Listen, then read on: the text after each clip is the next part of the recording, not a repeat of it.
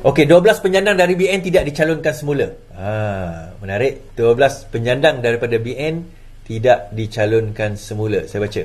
Sekurang-kurangnya 12 penyandang kerusi parlimen dari BN yang tidak terpilih untuk menjadi calon buat parti berkenaan dalam PRU akan datang.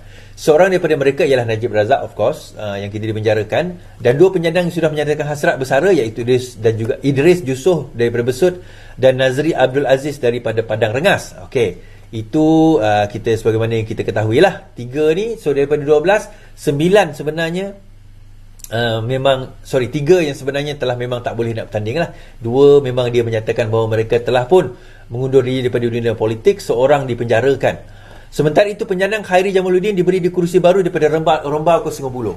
Tokoh lain yang tidak terpilih semula adalah Mastura daripada Kuala Kangsar, Zahidi daripada Padang Besar, Syahidan Kasim Arau, Anwar Musa Ketereh, Ahmad Nazalan Aziz Jerantut, Ismail Abdul Mutalib Maran, Adham Baba Tenggara dan Halimah Muhammad Sadiki uh, Kota Tinggi.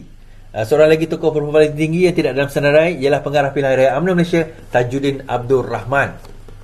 Okey, dia macam ni tuan-tuan eh.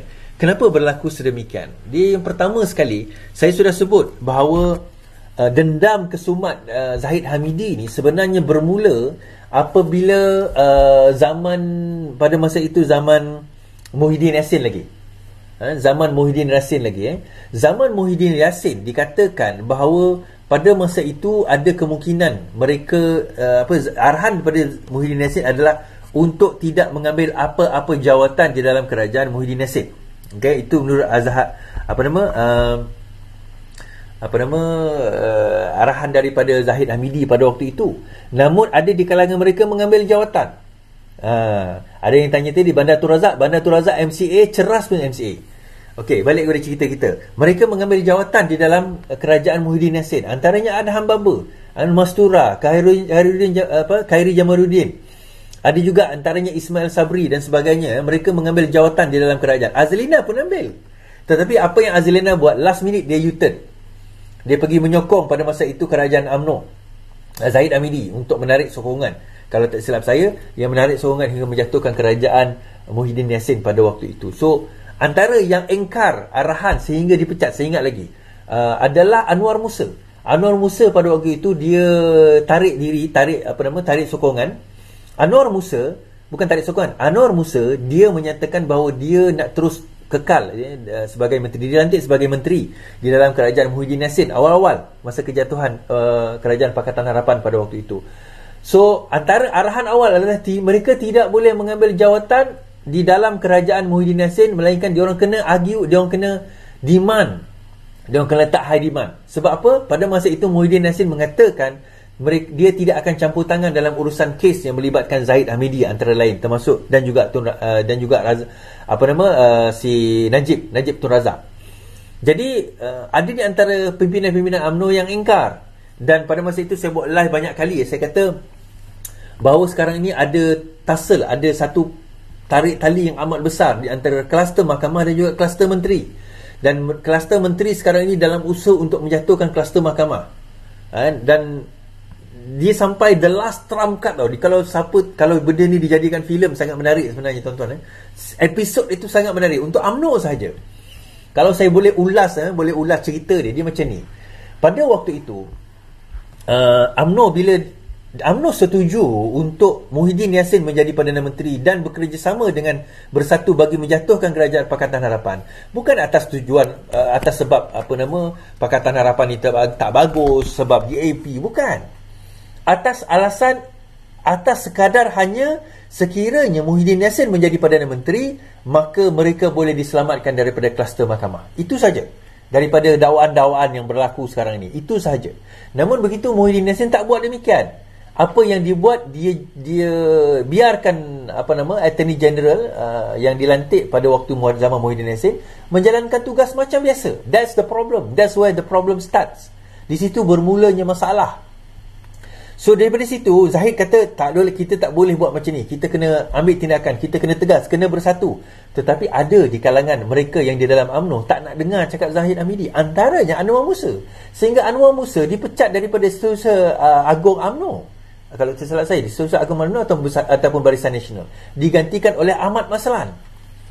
Immediately pada waktu itu. So bagi saya I have to give uh, kudos kepada Zahid Hamidi lah dia macam tu pun dia ada ambil tindakan yang tegas dia ambil tindakan yang tegas dan uh, tindakan-tindakan dia itu walaupun orang kata apa uh, yelah dia sebagai presiden dia masih lagi mempunyai kuasa untuk menentukan siapa calon saya dah cakap hari itu kan now bila dia boleh menentukan siapa calon dia orang lupa, dia orang cuba dalam masa tempoh 30 bulan dia orang memerintah ni, geng-geng kluster menteri ni cuba untuk nak menjatuhkan UMNO. Antara yang dia orang buat, antara kaedah yang dia buat, dia buat apa tuan-tuan? Dia orang cuba untuk memastikan sepatutnya pemilihan parti dilakukan pada hujung tahun ini. Sebenarnya awal tahun ini dia nak nak buat pemilihan parti, dia nak buat pemilihan parti seawal awal tahun ini. Tetapi apa yang berlaku? Pemilihan parti itu uh, tidak tidak dilakukan, tak berjaya dilakukan.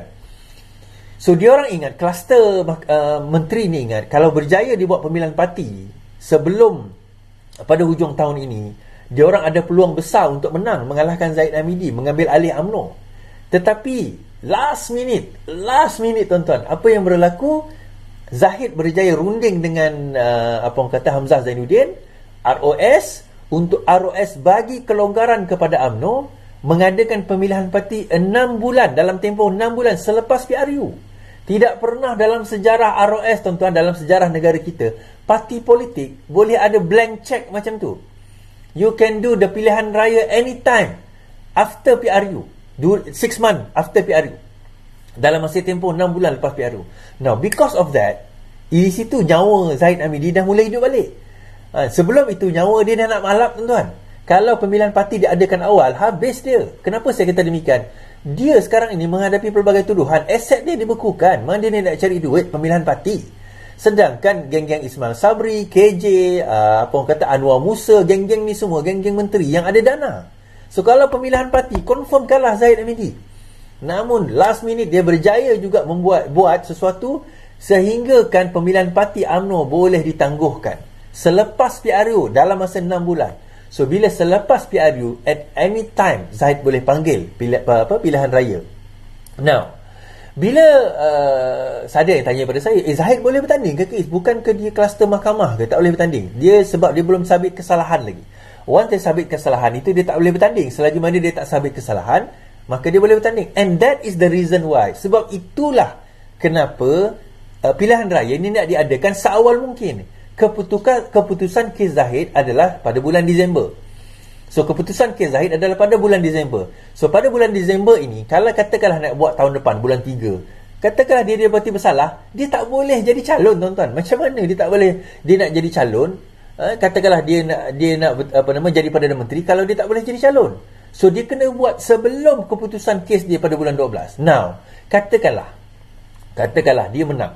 Eh, katakanlah sorry uh, UMNO menang. Katakanlah UMNO menang.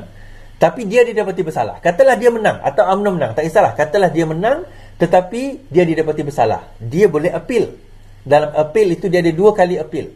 Appeal yang pertama di mahkamah rayuan appeal kedua di mahkamah persekutuan. So dia boleh merayu so mungkin kes itu katalah dia didapati bersalah bulan Disember ini mungkin akan ambil masa dalam 4-5 tahun mungkin untuk kes itu selesai. Nah itu kita kena faham. Dan dalam tempoh masa itu dia boleh buat apa saja.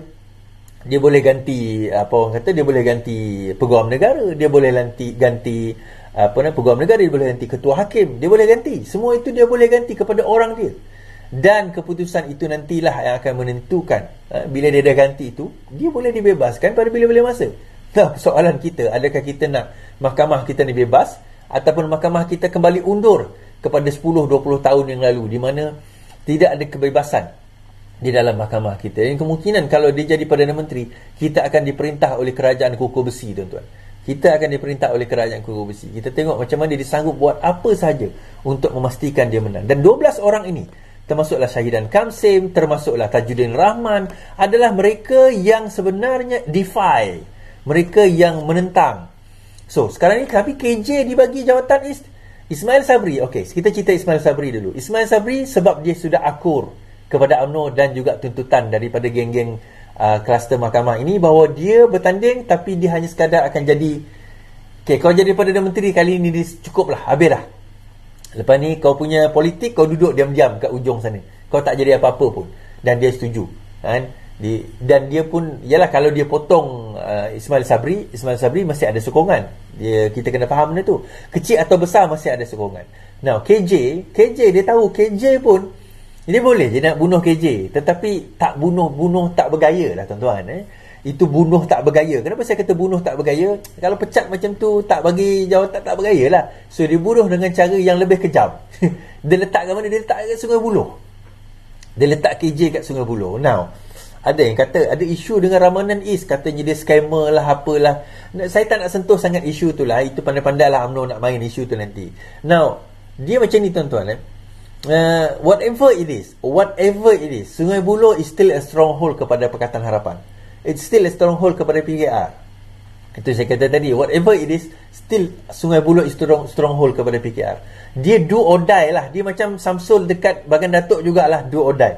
And kalau uh, apa nama kalau menang KJ di Sungai Buloh, dia akan flourish dalam dia punya politik. Sama juga dengan Samsul. Kalau menang dia di Bagan Datuk, dia akan flourish di dalam di dalam politik uh, Malaysia kerana apa? Kerana mereka berjaya mengalahkan macam contohnya KJ menang di Selangor so it's it's a it's macam ialah susah nak dijangka lah susah nak difikirkan lah bagaimana KJ boleh menang di Sungai Buloh kan contoh ha, sama juga dengan dengan si Samsul. Kalau boleh menang di Bagan Datuk saya kata dia kita boleh kata memang dia hebat lah dia boleh kalahkan Zaid Amidi di kawasan yang majoriti orang Jawa uh, mengalahkan orang Jawa sedangkan dia sendiri bukan orang Jawa. Saya rasa lah saya rasa dia bukan orang Jawa. Dia orang Jawa. Bukan rasanya kan? Ha, so kalau betul keadaan itu berlaku maka it's flourish for them. Tetapi kalau tidak berlaku maksudnya kalau mereka kalah risaunya ini mungkin jadi yang tak akhir untuk mereka lah. Mungkin. Mungkin bukan untuk Samsul. Tapi mungkin untuk KJ ini yang tak akhir untuk dia. So dia dibunuh dengan cara yang sangat cantik.